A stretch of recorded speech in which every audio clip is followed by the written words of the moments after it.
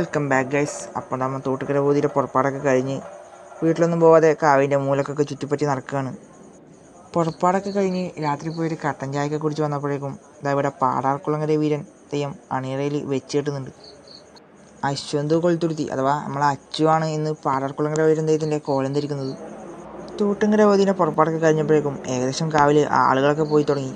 പൊതുവേ ആളുകൾ അതിനെ അപേക്ഷിച്ച് നോക്കുമ്പോൾ ഏറെ കുറവായിപ്പം അപ്പോൾ അതാ തെയ്യം തുടങ്ങുന്നതിന് മുമ്പ് തന്നെ ഇതുപോലത്തെ തെയ്യം വീഡിയോസും വ്ളോഗ്സൊക്കെ കാണണമെങ്കിൽ നിങ്ങൾ എന്റെ ചാനൽ സബ്സ്ക്രൈബ് ചെയ്യുക. കൂടാതെ ആ ബെല്ലൈക്കൺ ക്ലിക്ക് ചെയ്താൽ ഞാനിരുന്ന വീഡിയോസ് നിങ്ങൾക്ക് നോട്ടിഫിക്കേഷൻ വരും.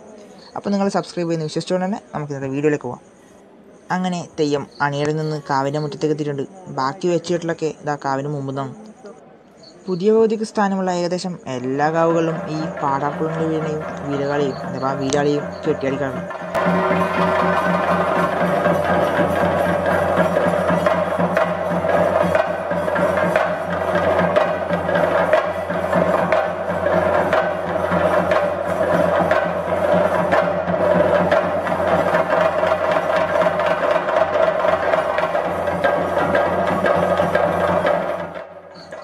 തെയ്യത്തിന്റെ കഥയെടുത്ത് പറയുകയാണെങ്കിൽ പുതിയ ഭഗവതിയുടെ അനുചരവൃന്ദങ്ങളിൽ ഒരാളായ ദേവനാണ് പാടാർക്കുളങ്ങര വീരൻ. ഒരു ബ്രാഹ്മണ സങ്കല്പമാണ് ഈ തെയ്യത്തിന് പറഞ്ഞു കേൾക്കുന്നത് അപ്പോൾ ആ ബ്രാഹ്മണൻ എങ്ങനെ ദൈവമായി നോക്കണം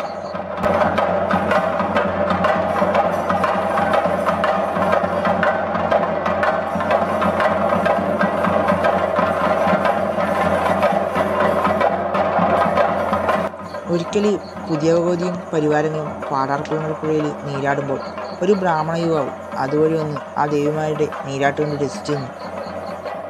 ആ ബ്രാഹ്മണ യുവാവ് തങ്ങളെ തന്നെയാണ് നോക്കുന്നതെന്ന് മനസ്സിലാക്കിയ ദേവിമാർ തങ്ങളുടെ കൂടെ കുളിക്കുന്നുവെന്ന് ചോദിച്ച് അരികിലേക്ക് വിളിച്ചു. തന്നെ വിളിക്കുന്നത് പുതിയ ഭഗവതിയാണെന്നറിയാതെ അവിടെ ചെന്ന യുവാവിനോട് ഭഗവതി ഒന്ന് മുങ്ങി നിവരുവാൻ ആവശ്യപ്പെട്ടു.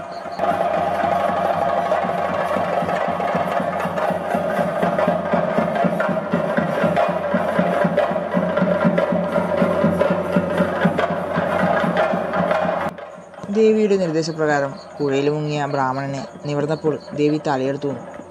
ആ ദേവിയുടെ കൈകൊണ്ട് മരിച്ച ബ്രാഹ്മണൻ അങ്ങനെ ദൈവക്കരുമായി മാറി. കാർത്തികവീരാസുരന്റെ വില്ലാപുരം കൂടെ ചുട്ടഴിച്ചു വരുന്ന പുതിയ ഭഗവതി തന്റെ ക്രോധമടക്കാതെ പലരെയും കൊന്നതായി ഞാൻ ആദ്യം പുതിയ ഭഗവതിയുടെ വീട് ചെയ്തപ്പോൾ അതിൽ കഥയിൽ പറഞ്ഞിട്ടുണ്ടായിരുന്നു. അപ്പോൾ പുതിയ ഭഗവതിയുടെ കൈകൊണ്ട് കുറേ പേര് മരിച്ചെങ്കിലും ദൈവക്കരുവായി യോഗം വന്നതിൽ പാടർക്കുളം വീരം മാത്രമേ ഉള്ളൂ എന്നാണ് കേട്ടുള്ളത് എന്റെ അറിവ് മാത്രമാണ് ഞാനിതിൽ പറഞ്ഞത്. ഇനി അഥവാ എന്തെങ്കിലും തിരുത്തുണ്ടെങ്കിൽ നിങ്ങൾ കമന്റ് ബോക്സിൽ പറയാം.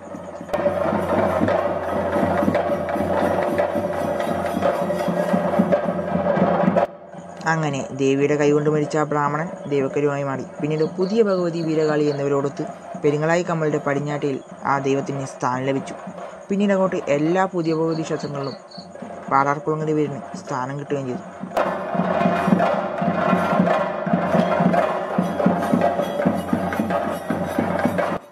വണ്ണൻ സമുദായമാണ് ഈ തെയ്യം കെട്ടിയാടാറുള്ളത്.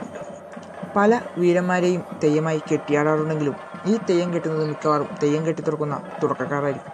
പിന്നീട് പേരെടുത്ത മിക്കവാറും പെരുവണ്ണന്മാരും ആദ്യം കെട്ടിയ തെയ്യം മിക്കവാറും പാടാർക്കുളങ്ങളിൽ വരുന്നതായിരിക്കും.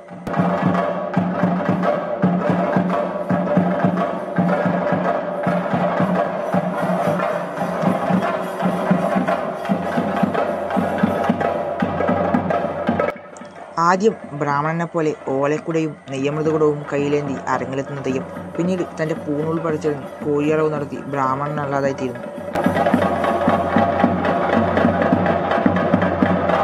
ഈ തെയ്യത്തിന്റെ തോറ്റം എടുത്തു പറയേണ്ട ഒന്നാണ്. പക്ഷെ നമ്മൾ എത്തിയത് കുറച്ച് വൈകിപ്പോയി. ഞാൻ ആദ്യം തന്നെ സൂചിപ്പിച്ചിട്ടുണ്ടായിരുന്നു. അപ്പോൾ തോറ്റൊന്നും കാണാൻ പറ്റില്ല ഞാൻ എന്തായാലും അടുത്ത തെയ്യത്തിന് പോകുമ്പോൾ തോറ്റം ഞാൻ നിങ്ങൾക്ക് കാണിച്ചിരും ഉറപ്പാണ്.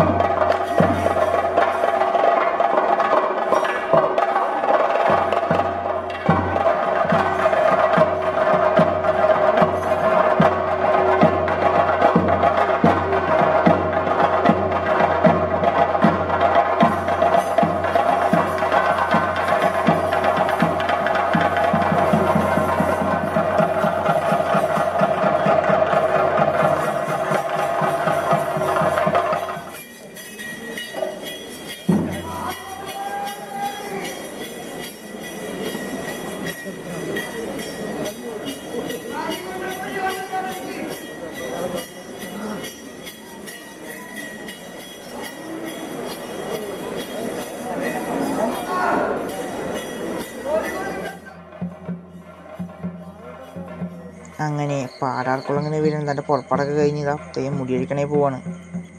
സമയം ഇപ്പോൾ പുലർച്ചെ മൂന്ന് മണി കഴിഞ്ഞു. ഇനി അടുത്തത് വീരാളിയുടെ പുറപ്പാടാണ്. അപ്പം അതും കൂടി കഴിഞ്ഞിട്ട് ഇനി വീട്ടിലേക്ക് പോകുന്നുള്ളൂ തെയ്യത്തിന്റെ മുടിയഴിക്കുന്നതോടുകൂടിയാണ് ആ ദൈവിക പരിവേഷത്തിൽ നിന്നും തിരിച്ച് മനുഷ്യനിലേക്ക് ആ കോലക്കാലം വരുന്നതെന്നാണ് വിശ്വാസം. ഇത് പറഞ്ഞത് എന്താണെന്ന് വെച്ചാൽ കണ്ണൂർക്കാർക്ക് ഏകദേശം ഇതിനെക്കുറിച്ചൊരു ധാരണ ഉണ്ടാവും വിചാരിക്കുന്നു. എന്നാലും ഇത് കാണുന്ന കുറേ പേര് പുറത്തുനിന്നുള്ളവരുണ്ട്. അപ്പം അവർക്ക് വേണ്ടിയാണ് ഇങ്ങനെയൊക്കെ പറയുന്നത്. എന്താ തെയ്യം അവസാനം കൈപിടിച്ച് അണിയറയൊക്കെ പോയി. ഇനി അടുത്തത് നമ്മൾ കാണാൻ പോകുന്നത് വീരാളി അഥവാ വീരകാളി തെയ്യത്തിന്റെ പുറപ്പാടാണ്. പുതിയ പുതിയുള്ള ഏകദേശം എല്ലാ കാവുകളിലും ഈ പാടാർക്കുളങ്ങര വീടിനും വീരാളിക്കും കോലുണ്ടാവാറുണ്ട് വീരാളി തെയ്യത്തിന്റെ രൂപം എന്ന് പറയുന്നത് പുതിയ പുതിയമായിട്ട് ഏറെ സാമ്യമുള്ളതാണ്. പുതിയ പുതിയുടെ വട്ടമുടി തന്നെയാണ് ഈ വീരാളി തെയ്യത്തിന് ഉപയോഗിക്കുക. പക്ഷേ എടുത്തു പറയേണ്ടതെന്ന് വെച്ചാൽ പുതിയ പുതിയുടെ അരയോടെയോ അല്ലെങ്കിൽ കെട്ടുവന്തോ ഒന്നും വീരാളി തെയ്യത്തിന്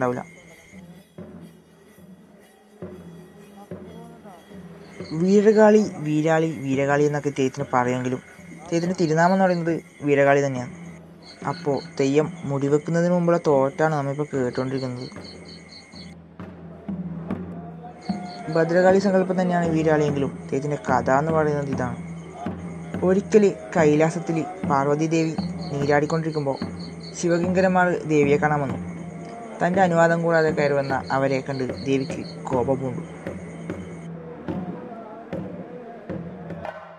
അങ്ങനെ ദേവിയുടെ കോപം കണ്ട് ഭയന്നു വിറച്ച ആ ശിവകിങ്കരന്മാർ ദേവിയോട് മാപ്പിടുന്നു. അങ്ങനെ ദേവിക്ക് ദയ തോന്നി തന്റെ വീര്യം പുറത്തു വന്നാൽ സകലതും കത്തിനശിക്കും എന്ന് മനസ്സിലാക്കി.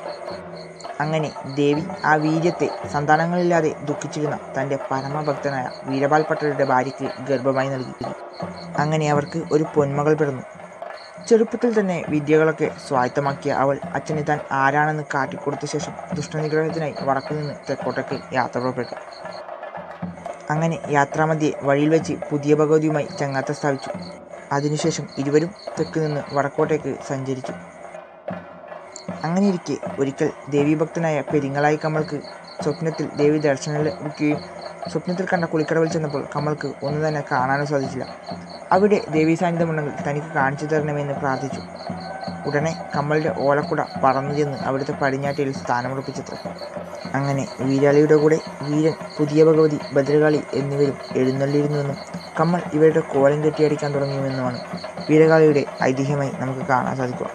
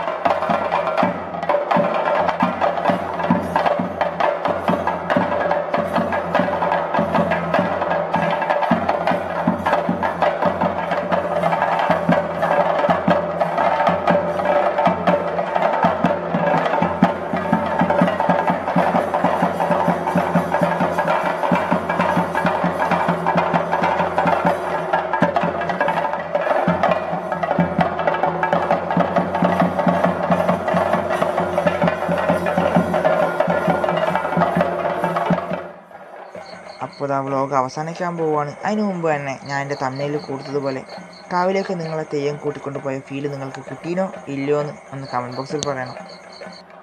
പിന്നെ പറഞ്ഞു പറഞ്ഞു വരുമ്പോൾ കണ്ണൂർ ഭാഷ കുറച്ചുകൂടി കയറി പോയിനോ എന്നൊരു ഡൗട്ടുണ്ട് അപ്പോൾ നിങ്ങൾക്ക് മനസ്സിലാവുന്നില്ലെങ്കിലും പറയാം. അപ്പോൾ വീഡിയോയുടെ അഭിപ്രായം എങ്ങനെയാണെന്ന് പറയാൻ മറക്കാൻ പാടാം പിന്നെ കുറച്ച് പേര് മെസ്സേജിൽ പറഞ്ഞിട്ടുണ്ടായിരുന്നു ലൈവ് വോയിസിൽ വാങ്ങും. അപ്പോൾ ആ കാവുന്ന ലൈവ് വോയിസിൽ വന്ന് വന്ന് ഇൻട്രോ പറയാൻ വേണ്ടി യാതൊരു നിർവാഹവും ഉണ്ടായിട്ടാണ് അതാണ് റെക്കോർഡ് വോയിസ് ആക്കി. എനിക്ക് ലൈവ് വോയിസിൽ വരാൻ പറ്റുന്ന സ്ഥലത്ത് ഞാൻ എന്തായാലും ലൈവ് വോയിസിൽ വരും. അപ്പോൾ ഞാൻ ആദ്യം പറഞ്ഞ പോലെ തന്നെ അറിയാൻ ആട്ടങ്ങൾക്ക് യാതൊരു കാര്യമില്ല അപ്പോൾ ഈ പാറാർക്കുളം രവിയുടെയും വീരാളിയുടെയും തെയ്യത്തിന്റെ കഥയും എല്ലാം നിങ്ങൾക്ക് മനസ്സിലായി തന്നെ വിശ്വസിക്കുന്നു. അപ്പോൾ ഏറെ വൈകാതെ തന്നെ നമുക്ക് അടുത്ത വീഡിയോയിൽ കാണാം.